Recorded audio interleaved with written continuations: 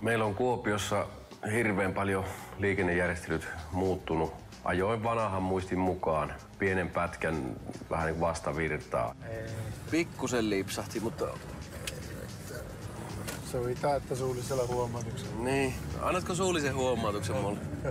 Huomattua sen virheen sitten niin korjaa, tekee peliliikkeen ja kääntyy kevyen liikenteen väylälle, jossa häntä itseään vastaan tulee sitten kevyt moottoripyörä toisesta suunnasta. Yksi suuntaista väärää. Sieltä tullaan jalaka kääntämään pitkin.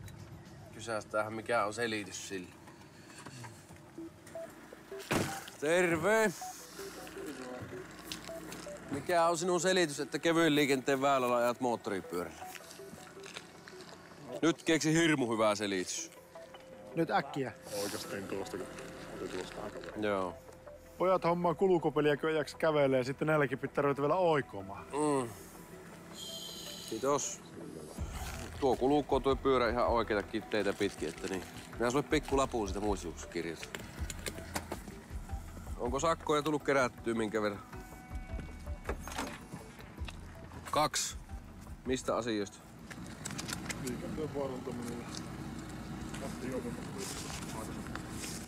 Ei sun kannattaisi kyllä hyvin keräillä näitä. Paremmin pyssyy tuo kortti kuin...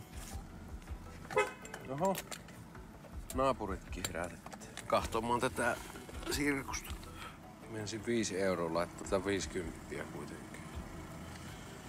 Karkeasti näet, että ajoi moottoripyörällä kevyen liikenteen väylä. Kaikista huolimatta hyvää päivää.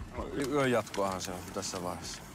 Itse tuota jätkää kiinnosti yhtä paljon tuo sakon saaminen kuin kiloa paskaa. Ei se ollenkaan moksiskaan tuosta. Ei, se, ei, kato vaan. Tämmöisiä veteliä makaronia, nämä on osa Ei, näistä. jos kato ratit ja ajaminen ja vaarantamiset sun muut, niin eihän se tuttua kaura. Siis tämä on ju- just tämmönen... Oho, uudestaan herätä naapureita. Monestikohan minä tuo? No vi... sori, sori. En halua häiritä kettä. Laitan vaan tässä tavarat salaa. Nyt otetaan äkkiä pois. Kyllä, niin, niin, jos vaan jäänyt tämäkin homma tekemättä, kun sitä ei ollut liikennesääntöjen mukaan. Älä edes sano. Se oli vahinko.